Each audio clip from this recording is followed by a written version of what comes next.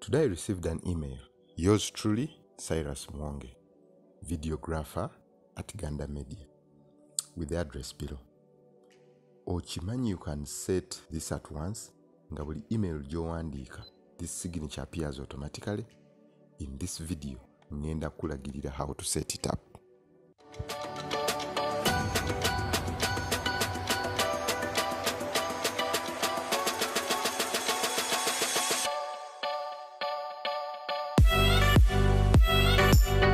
Welcome to Ganda Media. Please subscribe bw'oba mpya so that you don't miss any new videos nga tuzitaddeyo. After logging in your Gmail account, genda wano waggulu ku settings and see all settings.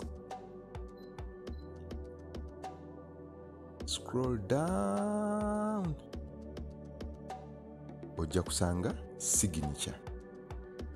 Ojja kulaba no signature. No signatures. Genda wano to create new. Signature yo giwa erinnya nja kugiyita work signature. Then create. Wano nja kuteekawo erinnya uh, kafulu title manager Ganda Media. The website I'll put it there www.gandamedia.info if I select everything nja kusobola okukyusa font from here.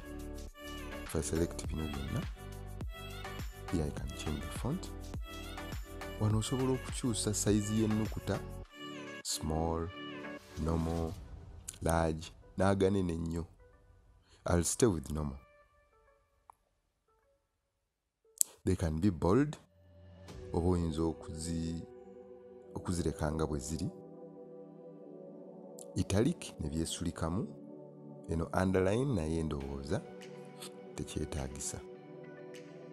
Wano ewaddako wakuwa options za text color ne background color so pick a color for your text if you want to change a color.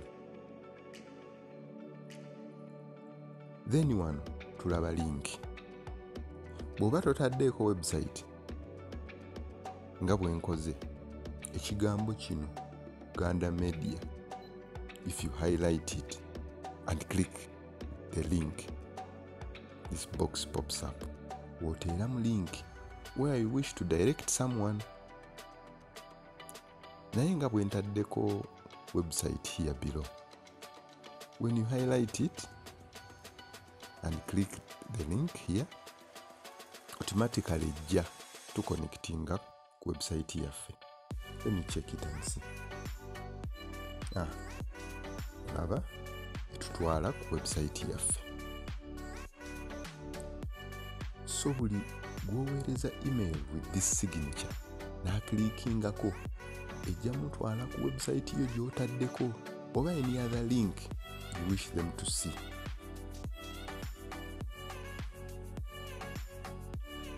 When we go back wano ewaddako waliwo insert image. So you can choose an image that will appear below your signature. So let me find out let me find our logo and insert it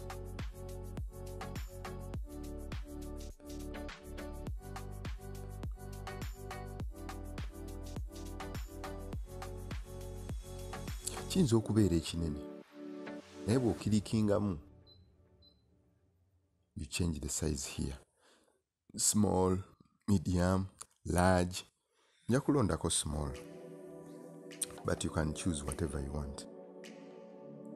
You can align side gyoyagala signature ebeereko but usually it is this side. So tujja kugireka that side osobola okwongerako telefone number physical address n'ebirala byonna byoyagala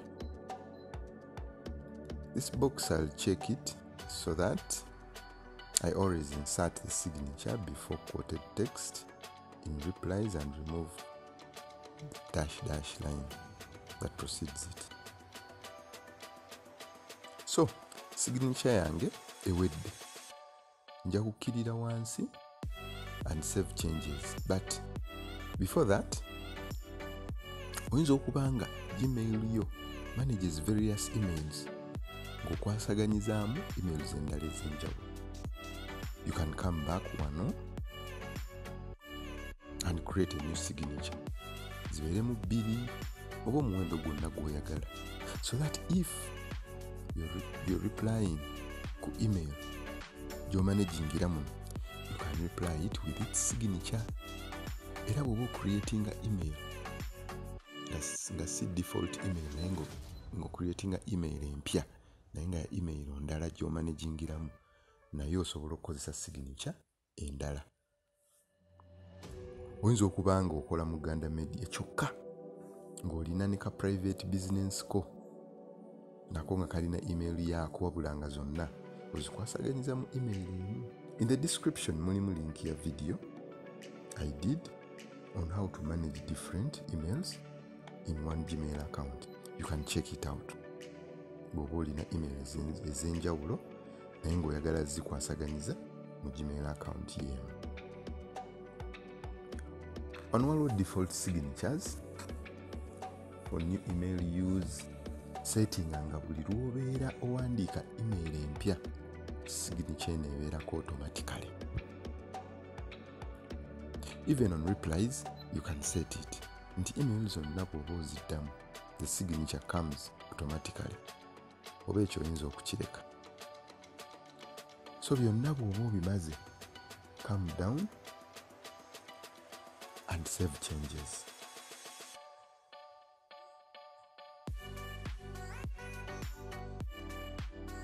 Kirabika kiwedde. So go to compose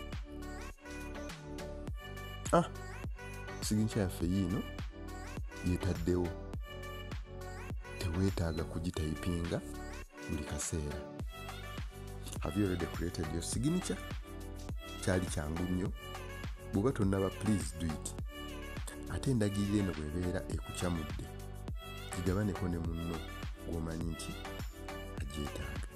And post any comments in the comment section ku vidiyo eno oba ensonga yonna endala about gmail. I'll ensure to read them and make videos to answer your needs and please subscribe if you haven't. See you in our next video